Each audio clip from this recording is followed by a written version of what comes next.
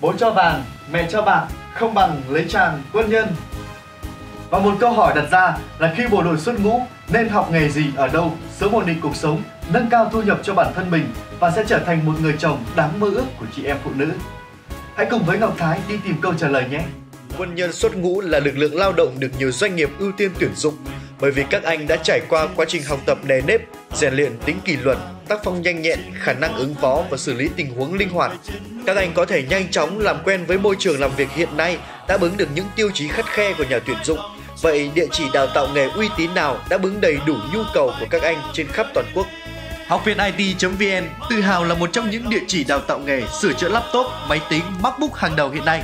Nếu còn bán tính bán nghi thì hãy kiên nhẫn tìm hiểu về nơi này nhé. Đừng bỏ lỡ cơ hội được huấn luyện thực chiến, cầm tay chỉ việc đến từ đội ngũ huấn luyện viên hàng đầu Việt Nam tại học viện IT.vn và nhận ngay thu nhập từ 7 đến 20 triệu đồng khi thành nghề.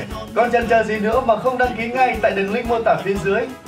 Đừng quên hãy nhấn like, subscribe học viện IT.vn để nhận được nhiều thông tin thú vị hơn nhé.